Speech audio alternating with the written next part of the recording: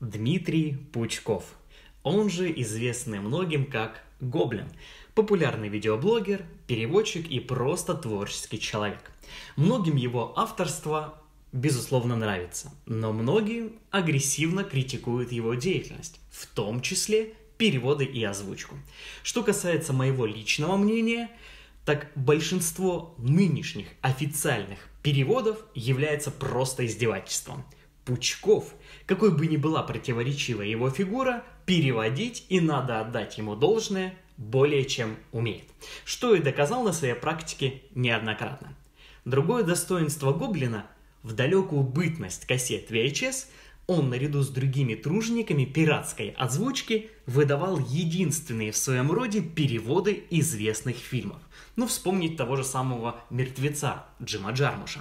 При этом он один из многих старался придать этой же озвучке глубину за счет неповторимой интонации.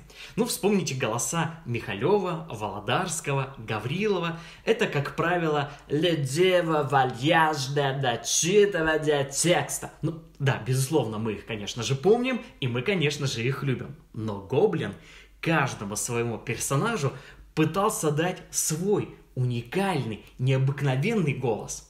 Второе достоинство – Пучков старается правильно перенести смысл слов там, где это сложнее всего – в ругательствах и жаргонизмах. Кажется, сегодня никого не удивить матами в озвучке, но подумайте. Современные переводчики делают это просто потому, что слово на букву F проще перевести, добавить в текст кучу матов. У Гоблина же картина совершенно иная. Он каждый мат максимально транслирует на русскую душу и по те обстоятельства, которые происходят на экране в эту минуту. К сожалению, сейчас гоблиновские переводы банально вышли из моды. Прошлый век, так сказать. Люди старшего поколения от такого давно уже отошли, выросли. А вот молодежь пренасыщенная ютубом и сотнями блогеров, вообще Гоблина не понимает. Недавно пытался посмотреть «Джентльменов» в его переводе. Фильм новый, отличный, но вот озвучка господина Пучкова как-то кино старит. Дело, кстати, и в конкуренции. Сейчас появилось очень много студий-переводчиков, мы стали избалованы качественным переводом только выходит фильм, и к нему через короткое время можно найти несколько различных звуковых дорожек. Хочешь с матом, а хочешь и без них.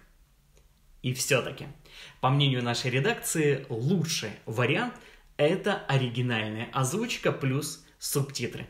Ни один переводчик не может донести тонкости произношения, акценты, темпоритм, эмоциональный окрас в фильмах, от чего атмосфера и удовольствие от просмотра теряется. Оригинальные голоса, они прекрасны. К тому же, отличная возможность подучиться иностранным языкам.